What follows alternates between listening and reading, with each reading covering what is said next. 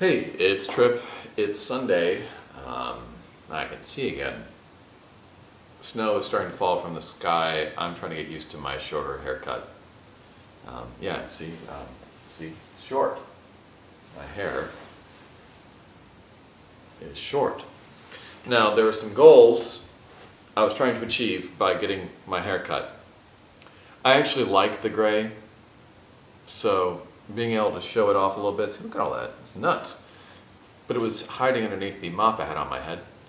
Um, but yet it is still long enough that I can nervously run my fingers through it when I'm feeling goofy and need to think. So, yeah. Um, I thought that since it was Sunday and Trish was off to a Shakespeare class that I would waste a little of your time um, with some music. Just some stuff I'm trying to work through. Um, the first thing, I'll see if I can do this right. It, there's no, no promises here. I'll just start it for you because I'm not going to sing it all the way through. I'm going to work up a whole um, other post. I'm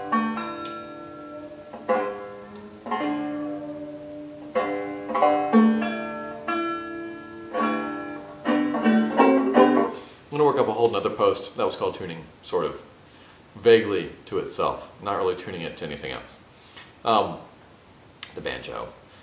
Something that Roger and I were working on the other day, and I'm going to work up a whole post just with this song because it's fun, and I've got the right banjo for it. I've got the right kind of banjo. Do you know?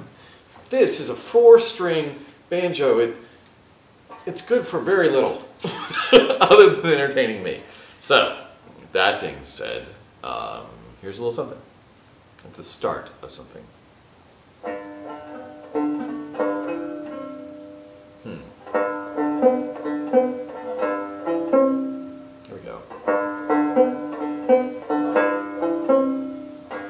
My heart, there's so many songs about rainbows.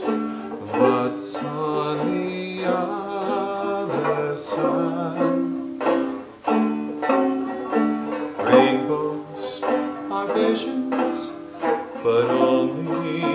illusions. Rainbows have nothing to hide. So we've been told, and some choose to believe it. Let's see if I can do it. No! Drat! This is why we're practicing. Aha! I know they're wrong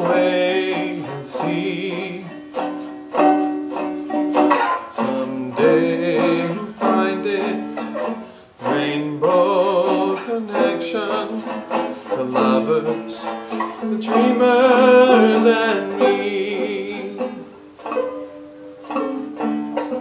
Yeah, I'll do it all. I'll actually learn it so I don't have to scream when I try to go for the B minor thing. It's not that, it's just a B minor, but I don't play it often. You know, it's like on this. The Irish banjo is technically a melody instrument. Um, so it's actually better for stuff like that, you know. But anyway, so yeah. So to actually have to chord stuff is still vaguely, sort of, kind not vaguely, clearly unfamiliar territory. I'm getting there, but this is fun. It'll be pretty. Um, I'll work that out. Um, I've also been looking through these. I have three volumes of, I think there are like seven volumes in the collection. I have the fir- I have two, three, and four. I need to find one somewhere. Anyway, just working through tunes. I'm thinking that this might be a fun ballady sort of thing um, to learn. It's really well known, actually. Um, Star of the County Down. One of the girls, my the, the Irish band that I am in, um, we're gearing up for St. Patrick's Day. So we have gigs on March 12th, March 13th, March 14th, March 16th, March 17th. It looks like the date itself we have a gig. We're still working the details out. I don't want to spoil anything. And then on March 30th, we'll be at Columbia College um, playing a big benefit there. Um, but this is one that I want to work up sing off that flat E.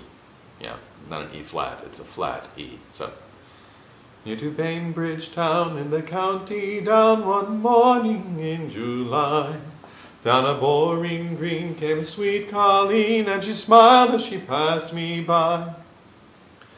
Oh, she looked so neat from her two white feet to the sheen of her heart. Uh, uh, this is awful. To the sheen of her nut brown hair. Sure the coaxing elf I do shake myself to make sure I was standing there. Oh, from Bantry Bay up to Derry Quay, and from Galway to Dublin town. No maid I've seen like the sweet Colleen that I met in the county town. I have a lot of work to do, but it's pretty, and yeah. Um, so that's sort of what I'm doing. Trish is, like I said, off to class, and I'm by myself on a Sunday. It's very strange. Um, there was no church for me this morning. I actually didn't get anywhere. I was hoping to go somewhere, but it didn't work out. But I think I've got something worked out for next Sunday. Go see a friend um, who pastors a church way outside of Chicago um, in rural Illinois. But it'll be really nice. That's what I've got for you now. I've wasted six, six and a half minutes of your time. Thank you for spending it with me. I hope you have a great Sunday evening. And if you're not watching this on Sunday, but on a later date, I hope whatever day that you're watching this um, on is good, right? we'll talk to you later.